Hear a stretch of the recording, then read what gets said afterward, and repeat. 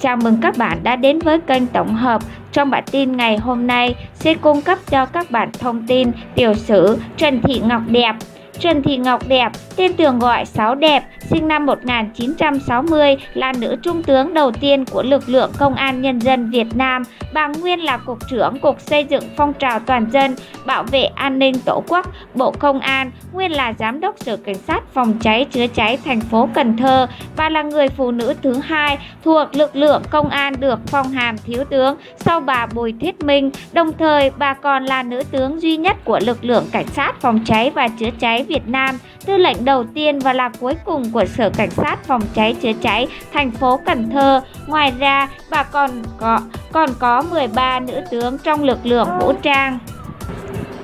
Phó Chủ tịch nước Thiếu tướng Nguyễn Thị Định, Chính ủy Bệnh viện Trung ương Quân đội 108, Trung tướng Lê Thu Hà, Chính ủy Bệnh viện Trung ương Quân đội 108, Thiếu tướng Nguyễn Hồng Giang, Chính ủy Viện Y học Cổ truyền Quân đội, Thiếu tướng Nguyễn Thị Thanh Hà, Giám đốc Bảo hiểm xã hội Bộ Quốc phòng, Thiếu tướng Hồ Thủy, Ủy viên Ủy ban Kiểm tra Quân ủy Trung ương, Thiếu tướng Bùi Thị Lan Phương, Ủy viên Ủy ban Kiểm tra Đảng ủy Công an Trung ương, Thiếu tướng Hoàng Thị Thủy, Giám đốc Công an tỉnh Kiên Giang, Thiếu tướng Bùi Thuyết Minh, Phó Cục trưởng Cục Cảnh sát Phòng chống tội phạm môi trường, Thiếu tướng Nhữ Thị Minh Nguyệt, Cục trưởng Cục Hồ sơ nghiệp vụ, Thiếu tướng Ngô Thị Hoàng Yến, Phó Cục trưởng Cục Kế hoạch và Tài chính, Thiếu tướng Nguyễn Thị Kim Dung, Phó Cục trưởng Cục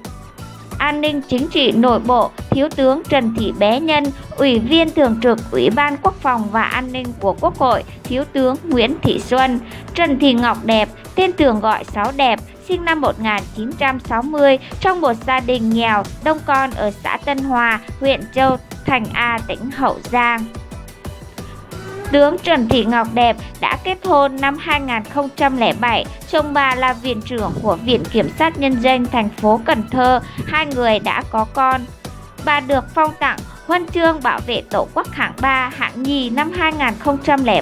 2007-2011, bằng khen của Chủ tịch nước Cộng hòa xã hội chủ nghĩa Việt Nam, 6 bằng khen của Thủ tướng Chính phủ nước Cộng hòa xã hội chủ nghĩa Việt Nam, 14 bằng khen của Bộ trưởng Bộ Công an Việt Nam, hai lần đạt danh hiệu chiến sĩ thi đua toàn lực lượng Công an Nhân dân 2007-2010, danh hiệu chiến sĩ thi đua toàn quốc 2011. Các bạn đừng quên bấm theo dõi kênh để nhận được những thông tin mới nhất. Xin chào và hẹn gặp lại các bạn trong các bản tin ngày hôm sau.